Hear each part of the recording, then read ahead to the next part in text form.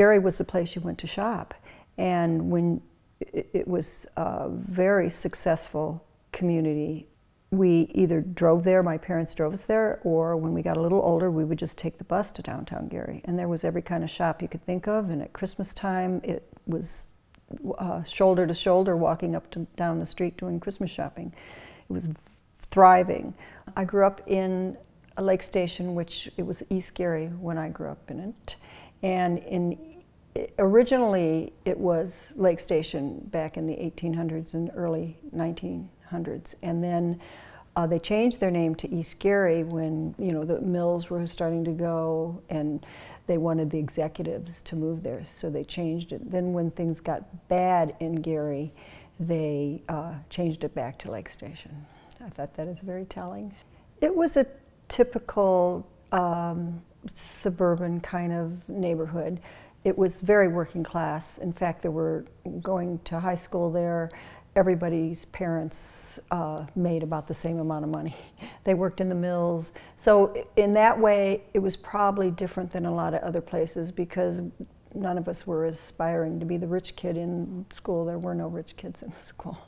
Patrick and I were married in 1966 and uh, we moved to Miller in 1967 and we moved with a young baby.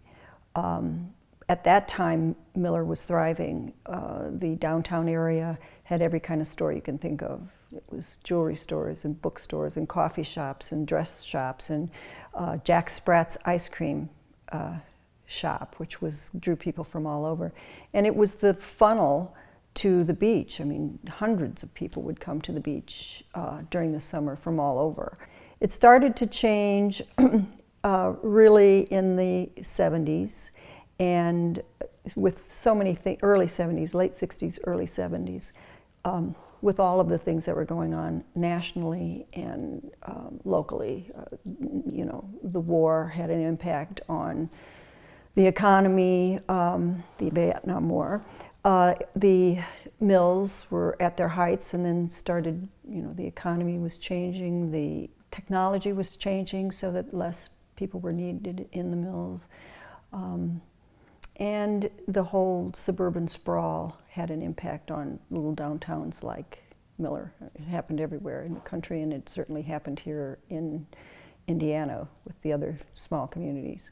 So at some point, um, there weren't a lot of businesses on the street, and those that were weren't thriving. A lot of the people left. They moved to Munster. That's how Munster got built. Um, and the people who stayed uh, are still here.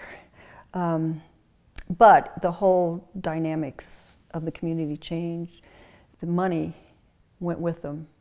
You know, Munster's a thriving town. Uh, Merrillville is in much better shape than Gary. So, yeah, that's the impact. If Gary doesn't thrive, the rest of the area doesn't thrive. And I think that is critically important. We can't have part of our population barely surviving. The city of Gary has all the infrastructure, you know, the steel mills. It has so much going for it. We can't ignore it. It's like it's like somebody in your family who has cancer and you're just going to ignore them because it's not going to affect you. Well, it is going to affect you we all need to be good neighbors, and it's not just in Gary and Lake County, but in Porter County, in Indiana. As a country, we have to not be so polarized because nobody's moving ahead.